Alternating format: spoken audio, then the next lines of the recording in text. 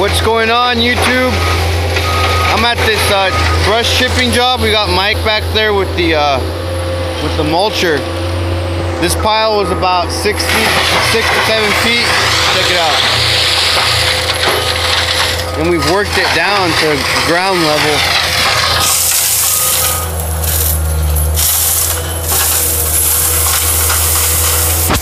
Usually this pile would have taken me like three days it would have really sucked. If you guys have ever tried a chip brush where it's been just pushed into a corner with a backhoe, you guys know what I'm talking about. And before this machine, we used to do a lot of work, jobs like that. And we got this uh, Ultra, which is, does a really good job, saves a lot of time. Just thought I'd share that with you guys real quick.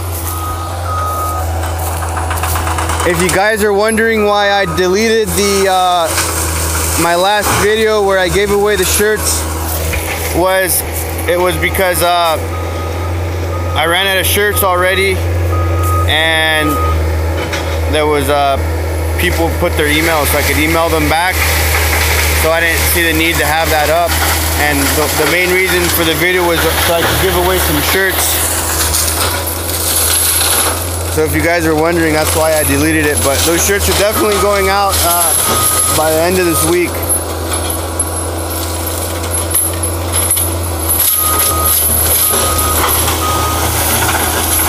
Just thought I'd share this real quick with you guys. Have a good weekend.